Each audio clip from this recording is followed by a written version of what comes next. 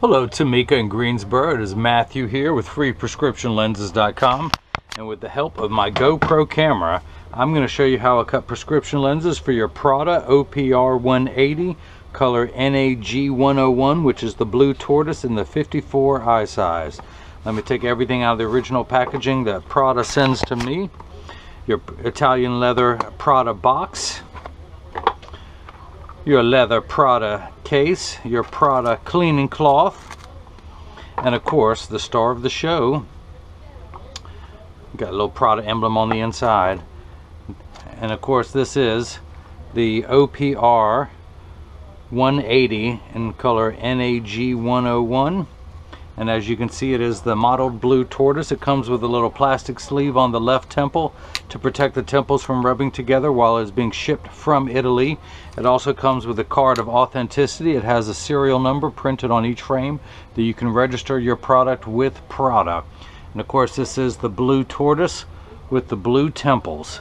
So let me go ahead and begin. I'm gonna pop out your original demo lenses and of course you're going to get all the manufacturer's original packaging including the demo lenses and one of which says Prada. I'm going to put your frame into the tracing element of my edger and begin the cycle. The stylus is going to pop up and it's going to go around and trace the shape of the right lens before moving over and tracing the shape of the left lens. Here at freeprescriptionlenses.com where everyone loves a bargain and no one is disappointed in quality. You buy a genuine authentic Prada frame and you'll receive one free pair of clear single vision prescription lenses or non-prescription fashion lenses. My receipts have my federal ID tax number so if you have vision insurance or flex dollars you will get reimbursed for this purchase whether they are prescription or not. But Tamika you know you need prescription lenses.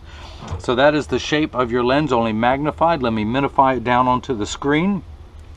While I'm here, I'm going to go ahead and enter the first component of your pupillary distance, which is 30 in your right eye.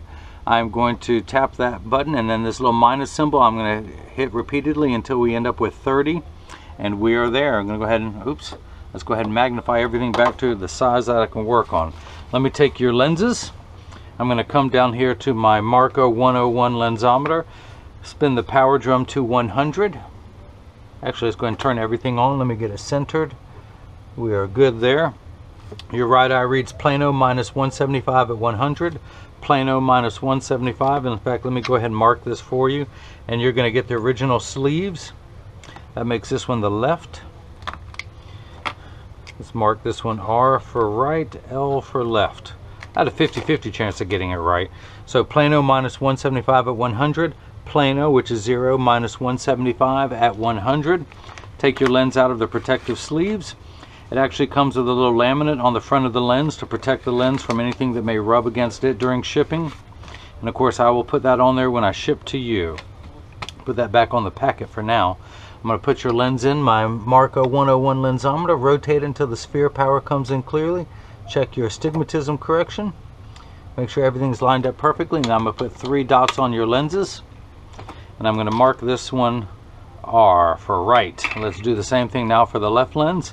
Your left lens reads minus one and a quarter, minus 150 at 85. Minus one and a quarter, minus 150 at 85. I'm to turn that fine tune knob to 85. Take the lens out of the protective sleeve.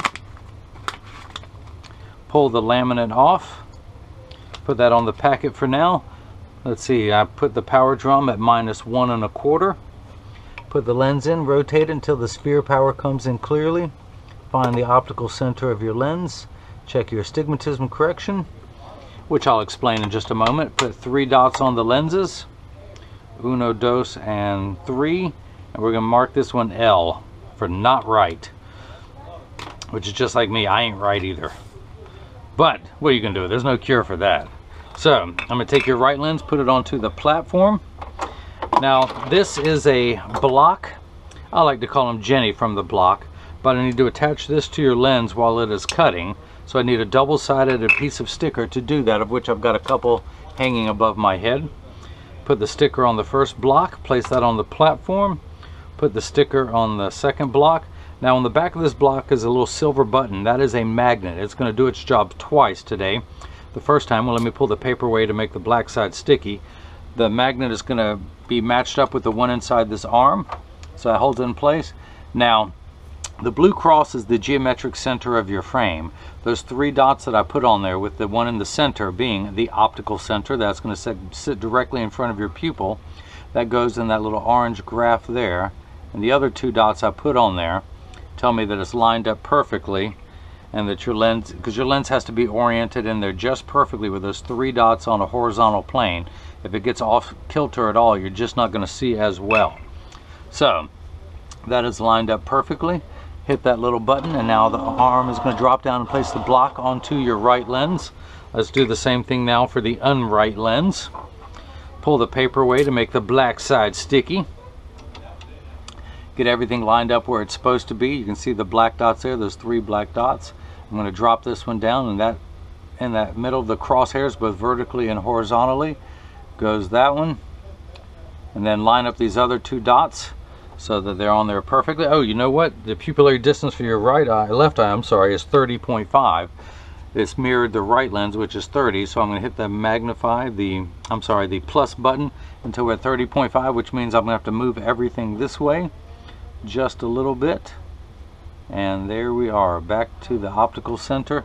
Hit that button and the block is going to be placed onto the left lens now this is the edger. This is what costs $40,000 it weighs 200 pounds. I recommend everyone go out and buy their own. Put it on your kitchen counter. Then you can cut your own lenses at home. You won't need me anymore. The actual cutting wheel is in here on the inside on the far right. It's going to act like a heavy grit sandpaper to grind away your lens material. This wheel in the center with that channel, that little valley, that's what's going to place the bevel onto the lens. So it'll stay inside the bevel of the frame. So let me go ahead and take your right lens. The magnet is going to do its job twice now. The second time I should say. It's going to hold it in place into the chuck. Or as I like to call it, the Charles, because I don't know the machine well enough to call it chuck. Where's my stylus? Here it is. Without the stylus, could I do that? This actually costs $39,000. This only costs $1,000, but it makes a great team. But that is the shape of your lens that's going to be cut. These are polycarbonate lenses. If it were plastic or high index or Trivex, I would choose that material, but these are polycarbonate lenses. I am not going to put a polish on the lens. I'm not going to put a bevel on the front surface, the convex surface of the lens. I am only going to put a safety bevel on the rear surface, the concave surface of the lens. And that concludes your vocabulary lesson of the day. I'm hit the green arrow, which is start in every language. The door closes, the clamp shuts, and then the lens is going to be traced by two white styluses. Making sure, it's going to do it twice, making sure the lens is large enough to fit into the frame. You can see as it's measuring that. And then the old carpenter saying measure twice, cut once. It's measuring the thickness of the lens at every point to know exactly and precisely where to place the bevel so you have the least amount of edge thickness showing or essentially the best cosmetic look possible. Now if you notice there's water flickering in the background or light flickering, that is water running. It's only there to catch the optical sawdust that will fly off your lens as it begins cutting. Polycarbonate lenses cut dry where plastic and high index plastic cut wet. You can hear your lens as it begins grinding. Now your lenses are made out of polycarbonate. Polycarbonate is 40% thinner and lighter than regular plastic. It is virtually unbreakable. Your lenses are bulletproof up to 22 caliber and have both UVA and UVB protection built into the lens. We know what the sun's harmful ultraviolet rays can do to your skin, where your eyes are eight times more sensitive than your skin. So you have permanent sunscreen for your eyes unlike the lotions, creams, and sprays that need to be reapplied every couple hours when you're in direct intense exposure to the sun, which like you're doing this week, you told me you bought these right before going on vacation to the beach. So this is permanent sunscreen that will never need to be reapplied. Now, the other nice thing about your lenses, the polycarbonate, these are Essilor brand lenses. Essilor calls polycarbonate airwear because they feel they are as light as air. These are the Transition 7 Signature 7 series gray lenses with Crizal Alize. And as you can see, these are the Transitions gray Signature 7 lenses with the Crizal Alize. And of course, it has its own unique UV protection and the SPF formula of 25. Now, the nice thing about your lenses, and I'll demonstrate the transitions later, you have an anti-glare feature. That was the only upgrade that you, well, you, your lenses are free with the purchase of this frame, hence the website. But you paid the $50 upgrade to the transition and the extra 40 for the anti-glare. The anti-glare coating is three features in one. It eliminates glare when driving at night, but particularly driving at night in the rain, but from street lights, stoplights, computer screens, overhead fluorescent lights, and the such. The second feature, it's a reflection-free lens, so when someone's looking at you, they're not looking at their reflection in your glasses, they're looking at just your eyes, so it makes for much better eye contact. It also, the reason why a lot of people get it is if you take a selfie or someone takes a picture with the flash, you don't see the flash lit up in the lens like you do on this lens on the right that does not have the anti-glare coating. Now the third feature it comes with the most premium scratch coating possible. The machine that applies the anti-glare coating costs well over a million dollars. It, uh, it takes over 24 hours to vaporize seven different layers onto your lens. Because of the time and the expense, that's why they put the hardest scratch coating. Now I'm going to open this door with my mind. Did you like that? I can do other things with my mind. I can melt ice with my mind. I can. It just takes me a couple hours and I have to stare at the ice, but I can melt it. I can. Don't you believe me? Okay, I just want to run my thumbnail along the back edge to make sure all the optical sawdust is removed. I'm going to tuck the lens in at the outside corner and then using my thumbs I press down at the nose and it doesn't want to go yet and I'm not going to force it so I'm going to take that back out. I'm going to take it down a tenth of a millimeter. Now to all my American friends who have no clue what a millimeter is, it is the distance between my thumbnails. I'm going to take one tenth of that distance off going around the circumference of the lens until it fits in there easily. I don't want to force the lens into the frame. That would cause your frame to stretch or what we in the business called roll. If you can imagine your frame is like a gutter if the lens were in there too tight, it would force the bottom of the frame to roll outwards. It would shorten the life of the frame and give you a terrible cosmetic look. But because I am a perfectionist and I cut every pair of lenses that get shipped worldwide, I'm going to make sure they fit just perfectly. Because years from now, I can mail you lenses for this frame. I don't need it again. My computer will memorize this shape and I can send them right to your home. And I just want to make sure they're the right size and they're not forced in there so we don't have any issues. Now if you have noticed there is water running now that's to wash away any optical debris. But polycarbonate grinds dry with no water on it. It's only for the last 20 seconds of the cutting cycle as it's putting the safety bevel onto the rear, the concave surface of the lens.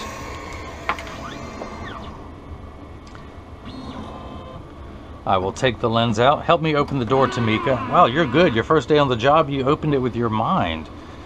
I have taught you well, young Jedi. Now, everyone out there who believes in telekinesis, raise my hand. Wait, what's, what? Wow, it must really work. Somebody raise my hand. Okay. Let me use my thumbnail to clear that away with the water didn't. I'm going to tuck the lens in at the outside corner using my thumbs, press down. Now it snaps in easily, and I didn't have to force it in. I'm going to take the left lens, put it into the chuck, hit it over to L and let's go ahead and hit the start button. Again, the door closes, the clamp shuts, and then the lens is going to be traced by two white styluses, making sure that the left lens is large enough to fit into the frame. You can see as it's tracing, as it's going around. And of course, measuring the thickness of the lens at every point to know exactly and precisely where to place the bevel. So you have the least amount of edge thickness showing, and of course in this frame, you have no edge thickness whatsoever. It's a great cosmetic look there. So let's go ahead. I'm going to take the block off. This is no longer needed. Pull that sticker off. You can keep that little red dot that's on there. In fact, let me darken that so you can see that at home. Again, that is your optical center. Come on, pan right. Do I need another pen? Where's a better pen? Let me grab your prescription and come down here. I just want to darken the dot that's on the lens. And if you miss any of that, let me recap. Oh, I know that's bad, but you'll be telling it tomorrow. You'll be at work telling that joke tomorrow. So I'm going to put your lens in, my dusty Marco 101 lensometer. This is a good time for you to see all the dust that's on top. I'm going to spin the axis wheel back to 100. I'm going to read the power, and we are getting zero which is plano. You are not nearsighted or farsighted. You have no power correction needed. Your right eye component is completely astigmatic. This first number magnifies or in your left eye case minifies. That's why there's a minus sign. It will minify to the correct size.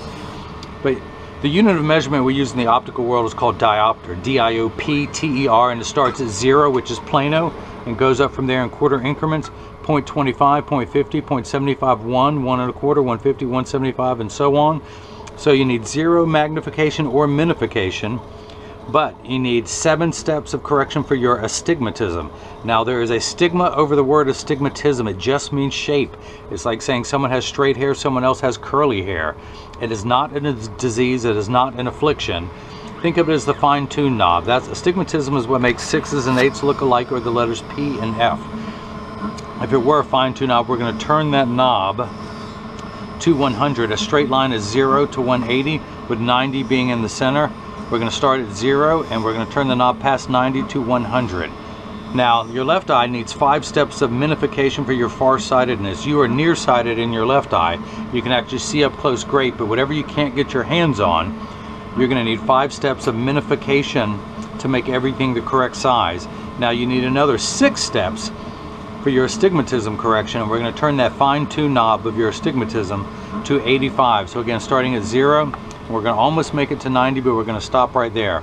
Now these first two numbers are real values to be concerned with. This last number could be anywhere from 0 to 180 and really doesn't mean anything. These first numbers may not mean anything to you, but they mean something to me.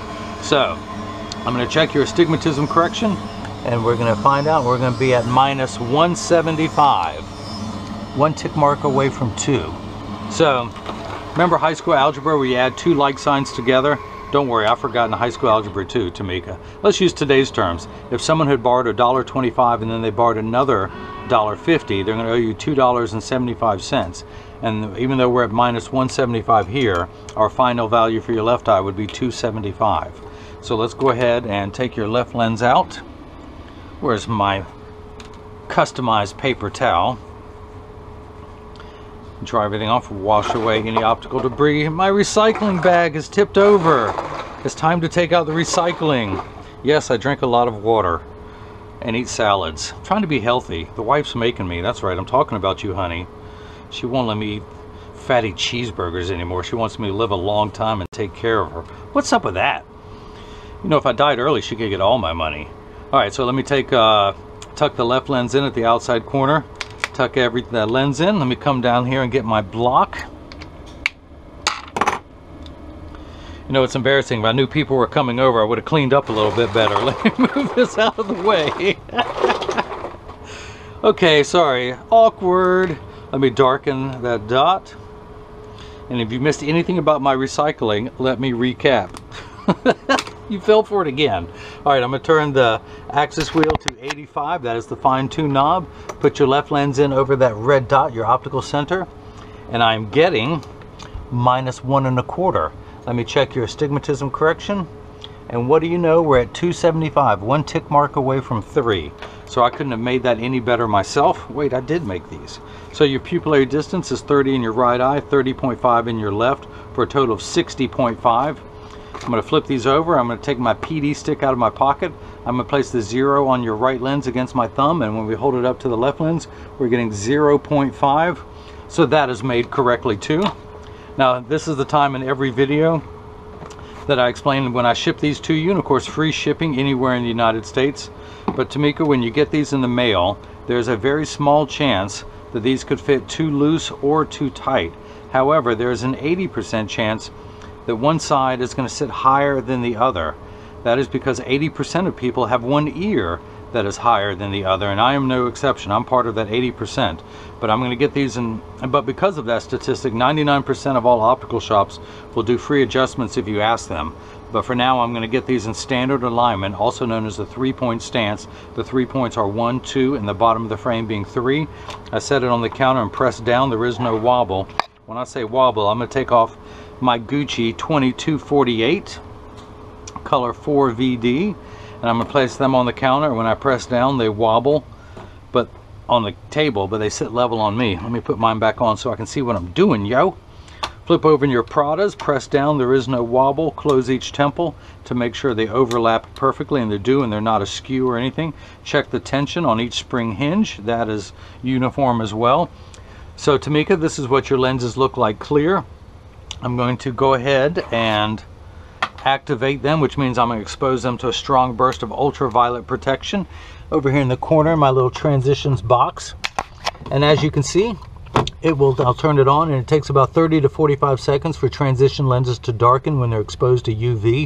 It takes a little bit longer when you come back inside, 45 seconds to a minute to a minute 15. Now Tamika, this is important, pay attention. All transition lenses will get dark on day one, giving them two weeks of exposure to the sun, and they're going to continue to darken every day for the first two weeks. Now, after that, they'll reach their final hue and they'll work for years with maximum performance. The only time they won't work is if you're behind the windshield of a car. Your windshield has UV inhibitors that protect your dashboard from cracking from sitting in the sun all day, and that's why they won't turn dark in a car. Now, if you have a convertible or a motorcycle, they will darken. Now, they're also temperature sensitive, meaning they will get darker when it's 85 degrees and below than it will when it's 95 degrees and above. I remind everyone when it's triple digits, you're miserable, they're miserable. Nobody likes to work 100% when it's 100 degrees outside. So that is that. That's what your lenses look like the first time they've been activated. Don't worry, Tamika, they're going to darken. Come on, remember, we talked about this. Don't you remember? But that's that. If anyone has any questions, just email me at freeprescriptionlenses at gmail.com. Like Tamika did, she wanted this frame. I did not have it on the website yet, but I told her I'd be more than happy to order for order it for her. She'd been looking for it everywhere. So she did. She was willing to wait a week to, to two. Was it 10 days that it took for these to come in from Italy? But I hope, Tamika, I hope you did. I hope it was worth the wait, and I hope you enjoyed watching as I cut your prescription lenses with Transition 7 gray lenses and Crizal Alizé Anti-Glare for your Prada VPR 180, color 54, I mean size 54, the color NAG 101, which again is the blue tortoise. And hopefully everyone else has got the chance to see how I bring that love and feeling back to glasses. Thank you.